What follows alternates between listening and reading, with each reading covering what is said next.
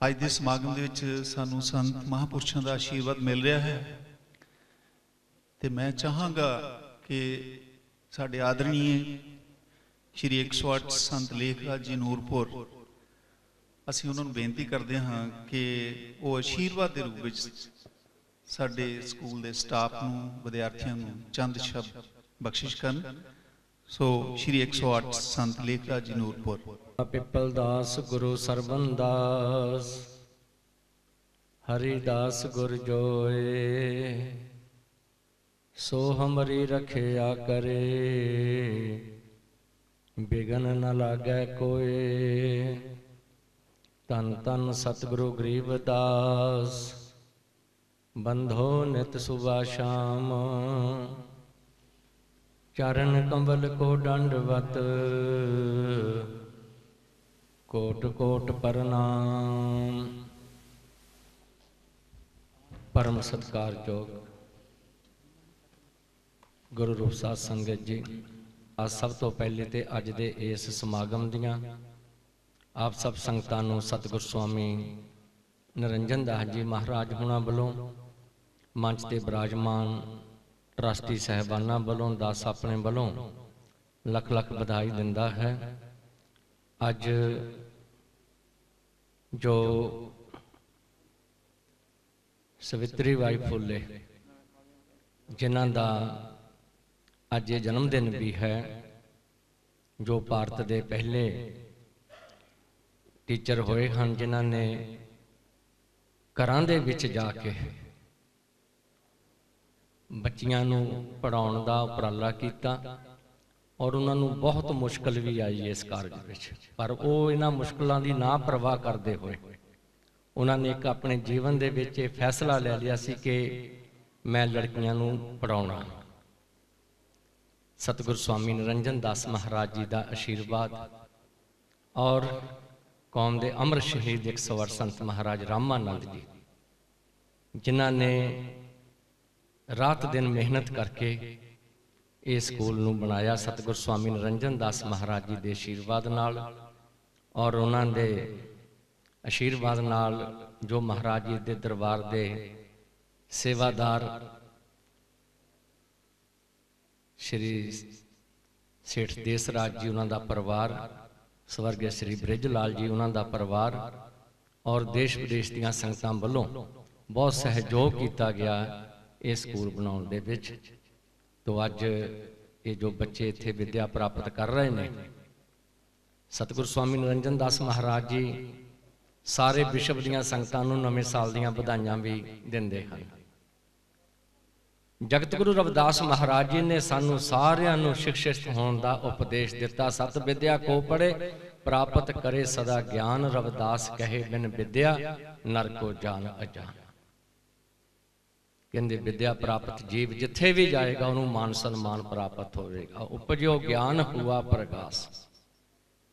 ਮਾਦੋ ਅਵਿਦਿਆ ਹੈ ਤਕੀਨ ਬਵੇਕ ਦੀਪ ਮਲੀਨ। ਅੱਜ ਇਹਨਾਂ ਉਪਦੇਸ਼ਾਂ ਨੂੰ ਮੁੱਖ ਰੱਖਦੇ ਹੋਏ ਸਤਿਗੁਰ ਸਵਾਮੀ ਨਿਰੰਜਨ ਦਾਸ ਜੀ ਮਹਾਰਾਜ, ਜਿਨ੍ਹਾਂ ਨੇ ਇਹ ਮਹਾਨ ਕਾਰਜ ਕੀਤੇ ਹਨ, ਜੋ ਸਕੂਲ ਦੀ ਕਮੇਟੀ ਹੈ, ਉਹਨਾਂ ਦਾ ਵੀ ਮਹਾਰਾਜ ਜੀ ਵੱਲੋਂ, ਦਾਸ ਆਪਣੇ ਵੱਲੋਂ ਧੰਨਵਾਦ ਕਰਦਾ ਹੈ। ਜਿਨ੍ਹਾਂ ਨੇ ਇਹ ਮਹਾਨ ਉਪਰਾਲਾ ਕੀਤਾ।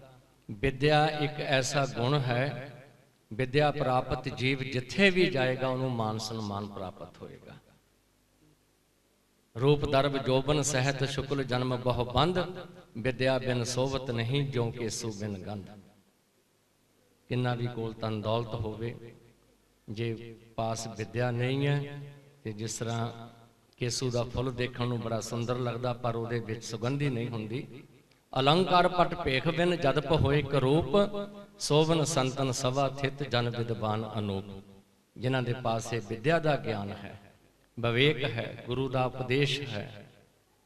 ਤੇ ਉਹ ਜਿੱਥੇ ਵੀ ਜਾਣਗੇ ਇੱਜ਼ਤ ਮਿਲੇਗੀ ਮਾਨ ਸਨਮਾਨ ਮਿਲੇਗਾ। ਨਾ ਵੀ ਕੀਮਤੀ ਵਸਤਰ ਪਾਏ ਹੋਣ, ਨਾ ਵੀ ਕੋਈ ਗਹਿਣਾ ਗੱਟਾ ਪਾਇਆ ਹੋਵੇ, ਪਰ ਇਹ ਜਿਹੜਾ ਵਿਦਿਆ ਦਾ ਗਹਿਣਾ ਹੈ ਇਹ ਬਹੁਤ ਅਨਮੋਲ ਗਹਿਣਾ ਹੈ। ਤੋ ਦਾਸ ਇਹਨਾਂ ਸ਼ਬਦਾਂ ਦੇ ਨਾਲ ਸਭ ਤੋਂ ਪਹਿਲੇ ਤੇ ਦਾਸ ਸਤਿਗੁਰ ਸਵਾਮੀ ਨਰਿੰਜਨ ਦਾਸ ਜੀ ਮਹਾਰਾਜ ਉਹਨਾਂ ਦਾ ਕੋਟਨ ਕੋਟ ਧੰਨਵਾਦ ਕਰਦਾ ਹੈ, ਜਿਨ੍ਹਾਂ ਦੇ ਆਸ਼ੀਰਵਾਦ ਨਾਲ, ਜਿਨ੍ਹਾਂ ਦੀ ਕਿਰਪਾ ਦੇ ਨਾਲ ਇਹ ਸਾਰੇ ਕਾਰਜ ਹੋ ਰਹੇ ਹਨ। ਤੋ ਮਹਾਰਾਜ ਜੀ ਰਾਤ ਦਿਨ ਸਵਾ ਸਵਾ ਜਿੱਥੇ ਪਰਮੇਸ਼ਰ ਦਾ ਨਾਮ ਜਪਦੇ ਹਨ, ਉੱਥੇ ਮਾਨਵੀ ਭਲਾਈ ਦੇ ਕਾਰਜ, ਜੋ ਸਮਾਜ ਭਲਾਈ ਦੇ ਕਾਰਜ ਹਨ, ਉਹ ਵੀ ਮਹਾਰਾਜ ਜੀ ਵੱਲੋਂ ਬਹੁਤ ਕੀਤੇ ਜਾ ਰਹੇ ਹਨ। ਤੋ ਸਤਿਗੁਰੂ ਜੀ ਕਿਰਪਾ ਕਰਨ, ਇਸੇ ਤਰ੍ਹਾਂ ਆਪਣੇ ਆਸ਼ੀਰਵਾਦ ਬਖਸ਼ਿਸ਼ ਕਰਦੇ ਰਹਿਣ ਤੇ ਸੰਗਤਾਂ ਔਰ ਟੀਚਰ ਸਹਿਬਾਨ ਟਰਸਟੀ ਸਹਿਬਾਨ, ਮਹਾਰਾਜ ਜੀ ਤੋਂ ਆਸ਼ੀਰਵਾਦ ਪ੍ਰਾਪਤ ਕਰਕੇ ਇਹਨਾਂ ਕਾਰਜਾਂ ਦੇ ਵਿੱਚ ਆਪਣਾ ਯੋਗਦਾਨ ਪਾਉਂਦੇ ਰਹਿਣ। ਦਾਸ ਦੀ ਇਹ ਗੁਰੂ ਚਰਨਾਂ ਚਰਦਾਸ ਹੈ, ਜੈ ਗੁਰੂ ਗੁਰਦੇਵ ਮੋਲੇ ਸੋ ਨਿਰਭੈ ਜਗਤ ਗੁਰੂ ਰਵਿਦਾਸ ਮਹਾਰਾਜ ਕੀ ਜੈ। ਦਤਾਰ ਤੇਰਾ ਸ਼ੁਕਰ ਹੈ। ਸ਼ੁਕਰ ਹੈ, ਸੌ ਬਾਰ ਤੇਰਾ ਸ਼ੁਕਰ ਹੈ। शुक्र है जिस रंग विच रखे तो। बनिया रहे दबार तेरा शुक्र है परिवार, तेरा शुक्र है। ये जुड़े रहे परिवार, तेरा शुक्र है। हमारे पास कुछ शब्द नहीं है। कि अपने सदगुरु का कैसे धन्यवाद करें? मैं तुझसे कुछ कहूँ, मेरी औकात क्या है? माटी का पुतला। मैं तुझसे कुछ कहूँ, मेरी औकात क्या है? तू तो दो जहाँ का मालिक है, तेरी बात क्या है? आप ही कृपा करें। ये जो हवा भी है, ये भी आपकी रहमत से चल रही है। ये जो दिन रात निकलते हैं, सब आपकी कृपा से ही तो निकलते हैं। हम तो आपसे इतना प्यार करते हैं। आपकी सुंदरता पे, आपकी सादगी पे हम इतने फिदा हैं कि हम तो यही कहते हैं कि गुलाब द फुल माइया, रब जे तुफीक दवे तेन लै लवा मुल माइया। सच्चे पातशाह, मैं तुझे अपने दिल में बसा करके रखूँ, तुझे अपनी आँखों में बसा के रखूँ। मैं ज़िंदगी कैसे जीऊं? आपने मुझे जन्म दिया है। मैं इस संसार में, तेरी दुनिया में तेरे लोगों से कैसे प्यार करूँ? एक छोटा सा शब्द सदगुरु महाराज जी के चरणों में है।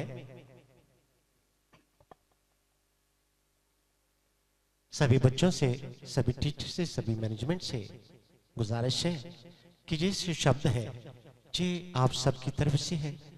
महापुरुषों के चरणों में है।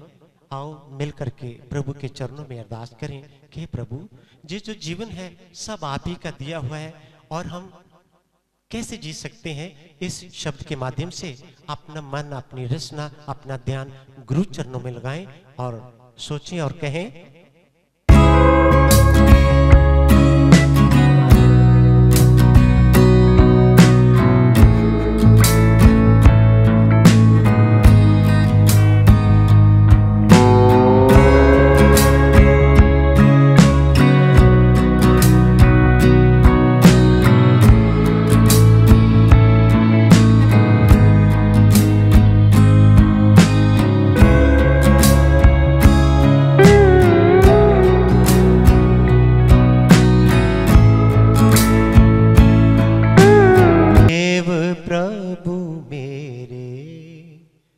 जीवन को बना देना।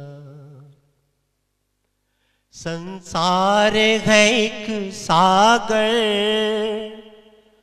तूफ़ान है हवाएँ है, घन घोर अंधेरा है, घन घोर घटाएँ हैं।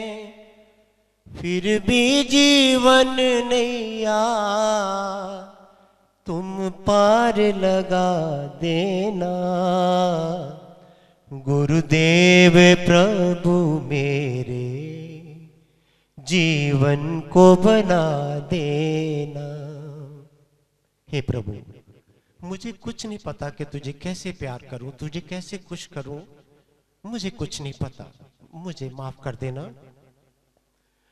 तुम रीझ सको मुझसे, है कर्म नहीं मेरा, पर सब पे दया करना, है कर्म यही तेरा।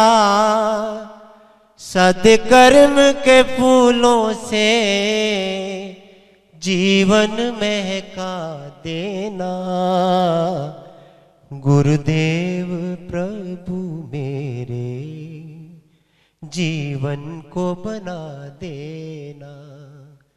जीवन की नदिया को हर गुण से सजा देना।